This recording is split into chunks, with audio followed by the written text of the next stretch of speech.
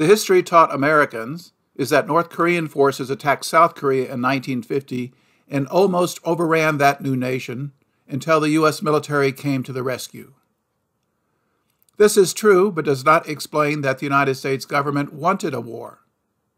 Major American industries had suffered with the loss of military business after the end of World War II, while wealthy Americans sought an excuse to expel the communists from China to recover their businesses. These groups conspired with the administration of President Harry Truman to lure North Korea to attack.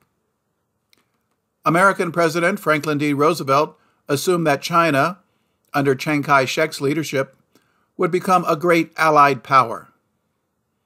After World War II ended, a Chinese civil war resumed, and by 1949, the communists had defeated the American backed forces led by Chiang. See the short video link below for details. Who Lost China became a big political topic in the United States, and President Harry Truman was criticized by those who had demanded direct American military intervention. Corporate America lost billions of dollars invested in China, while the United States lost its key ally in Asia. U.S. military spending plummeted after World War II, and easy profits from government contracts disappeared. The communist threat was used to create and promote a U.S. national security document called the, quote, United States Objectives and Programs for National Security, known as NSC 68. This strategy called for tripling American military spending to contain communism, but had little support in Congress with war debts to repay. The Soviet Union had invaded Japanese occupied Manchuria at the end of World War II and pushed into northern Korea. The United States agreed to a joint occupation of the Japanese colony of Korea with the 38th parallel designated as a temporary boundary. The Soviets supported popular Korean guerrilla leader Kim Il sung, who formed a government in the north. He was a prominent leader of the resistance to Japanese occupation for two decades. Major industries owned by the Japanese were nationalized, and Japanese collaborators purged from official positions. This led to protests by wealthy Koreans who lost property and jobs. An American occupation force composed of 45,000 men arrived in September 1945 to occupy South Korea. Army Lieutenant General John Hodge was a good combat leader, but had no experience in civil administration. He disliked Koreans since many were deployed to support the Japanese army during the war.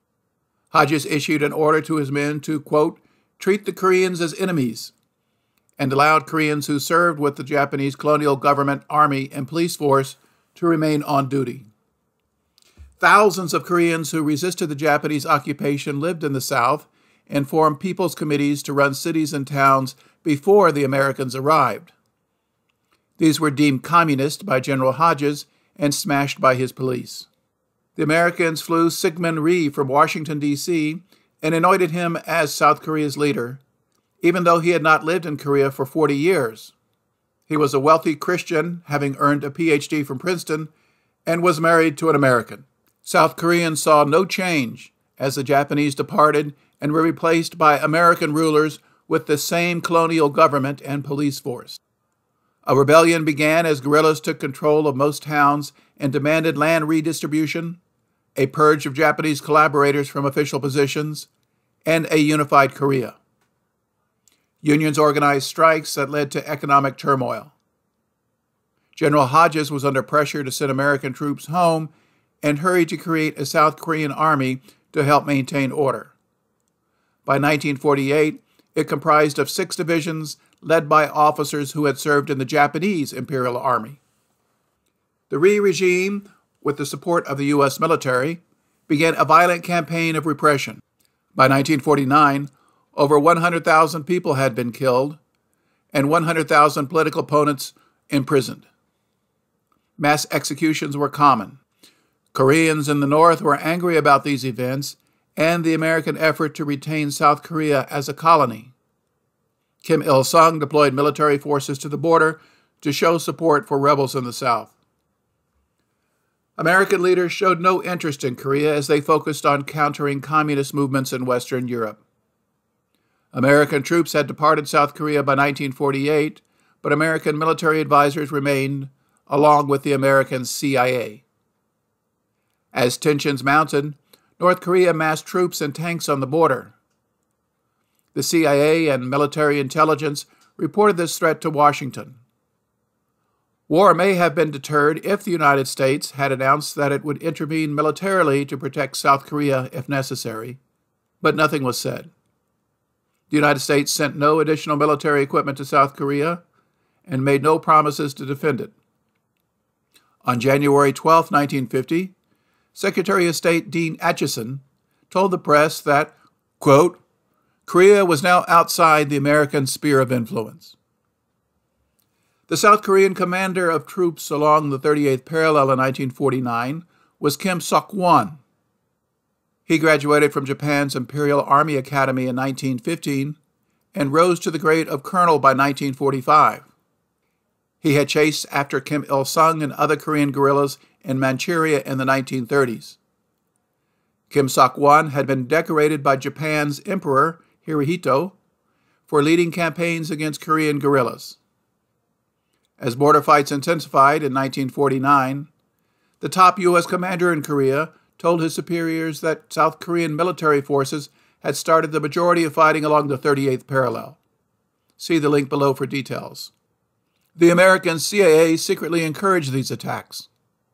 On June 25, 1950, South Korean troops attacked northward, capturing the city of Haeju, a mile north of the 38th parallel. North Korean forces along the border included 70 tanks, something the Americans surely detected with their observation aircraft. Kim Il sung knew that Rhee had little public support and gambled that the South Korean army would collapse if his army invaded. North Korean soldiers crossed the border on June 25th, and by June 28th, they were in Seoul, just 35 miles away. The South Korean army crumbled as most soldiers deserted. North Korean forces marched southward unopposed and could have secured all of Korea within a week. Korea would be united with little bloodshed as South Korea was freed from decades of colonial rule. This did not occur.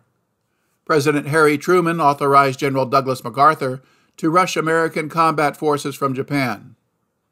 He did not seek a formal declaration of war from Congress by stating this was no more than a police action. Yet military spending tripled and conscription resumed. Many government officials were elated by the outbreak of the Korean War. Secretary of State Dean Acheson was a former Wall Street and DuPont Company lawyer, pictured here with Truman. He told colleagues that, quote, the Korean War came along and saved us. According to I.F. Stone's book, Hidden History of the Korean War, first published in 1952, the United States deliberately incited the North to attack that led to a three year war that left every Korean city destroyed, 7 million refugees, 2 million Koreans dead, and cost the lives of 36,000 American soldiers.